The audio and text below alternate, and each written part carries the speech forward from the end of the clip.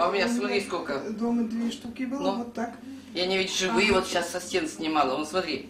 Людмила Пузанова каждый день собирает со стен по полсотни мокриц. Ну-ка иди сюда.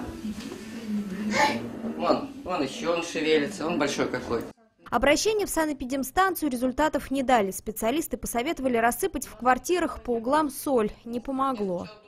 Один день 17 штук утром, пока еще дождь, утром встают на работу, вот за эти полчаса 17 штук поймал. Ой, вообще неприятно. Представляете, вот вы спите, а он по вам ползет. На первом этаже дома находится бассейн, однако, как считают жители, гнездо мокриц все же на крыше, так как больше всего от нашествия страдают владельцы квартир на верхних этажах.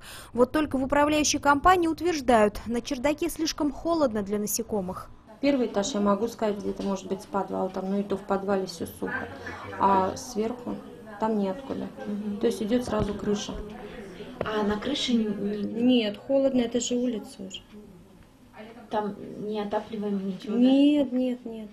Там нету таких помещений, куда бы могли проникнуть люди. Мы разберемся тогда с этой квартирой, но у нас э, заявок не было. Посмотрим. Сходим, обследуем, откуда чего может быть. Однако, что делать после обследования, признаются коммунальщики, они не знают и пока предлагают уничтожать непрошенных гостей вручную. Юлия Шабанова, Эльвира Ермакова, Алексей Шатунов, Эфир 24.